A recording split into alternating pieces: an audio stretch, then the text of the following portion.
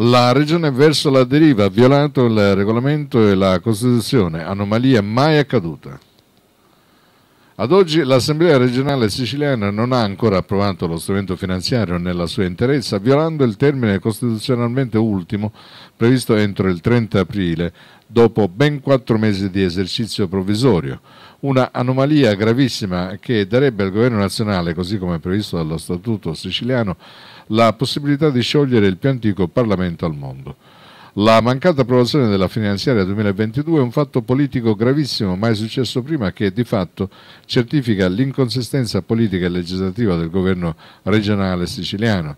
Ripeto, un fatto mai accaduto precedentemente nemmeno negli anni più bui della vita dell'Assemblea regionale siciliana che certifica il fallimento dell'attuale governo regionale ma alla violazione dei termini costituzionalmente previsti si aggiunge la violazione del regolamento interno che prevede che bilancio e finanziaria prima di arrivare in aula devono essere esaminati e approvati dalla Commissione bilancio.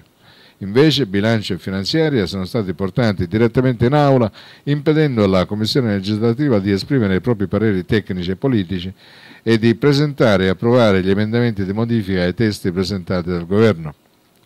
Non entro nel merito del bilancio che prevede addirittura 100 milioni in meno per i disabili, ma una cosa è certa, si è aperta una stagione di delegittimazione del Parlamento siciliano che offende non solo tutti i componenti dell'ARS, ma soprattutto tutti i siciliani che sono recati alle urne convinti che il proprio voto aveva un peso specifico.